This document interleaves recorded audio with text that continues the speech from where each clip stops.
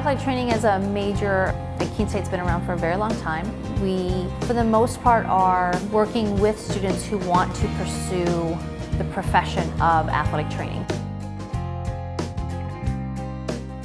With regard to the way our program is set up, the first year they'll do some observational experience just to make sure that this is in fact what they want to do and what they want to pursue. Most of their formal athletic training courses start in the second semester of their sophomore year and go all the way through until they complete the degree. Then they have junior level or third year clinicals, and then they have capstone clinicals. There's some general courses in anatomy, exercise physiology, kinesiology, and then when you really get into the program, it gets into evaluation of orthopedic injuries. You have clinical time on top of your class time, so you're in that athletic training room working with athletes, doing all the skills that you've learned about in class.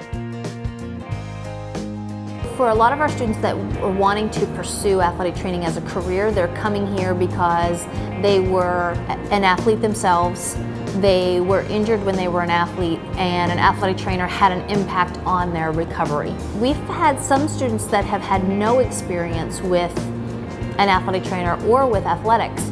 We do have some students that are coming to choose athletic training as a degree because it's most closely aligned with what they want to do for graduate school. I've always been interested in sports, always played them growing up, and anatomy and like biomechanics and stuff like that has always really interested me, so kind of wanted to go into something to have to do with that.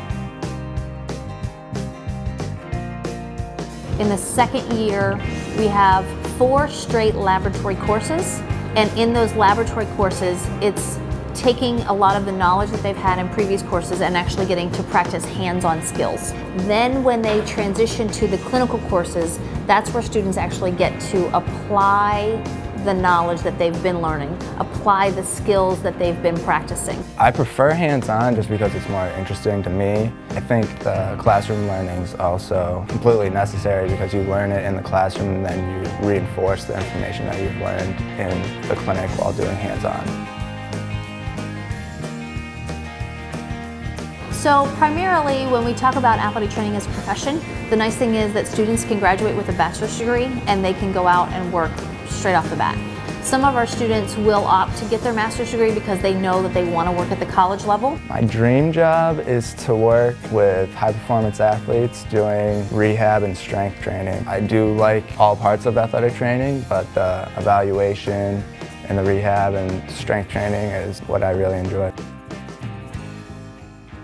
I think that there's a couple of different things that our students truly enjoy about the program. One of them is the hands-on learning that, that does happen, especially within the clinical setting. We have a lot of off-campus sites that give the students a different view, give them a different picture about what athletic training is like. That's something I think that the students really enjoy is getting that exposure outside of the Keene State Clinical. You get to know the athletes and you get to go watch sporting events all the time. You hardly miss a home sporting event. You're making it possible for the athlete to know whether or not they can participate in their sport or what they need to do to improve their performance or get over a certain injury or something like that. So if you're instructing them on how to do a certain thing that day, hopefully that will progress into them getting stronger and returning to their sport.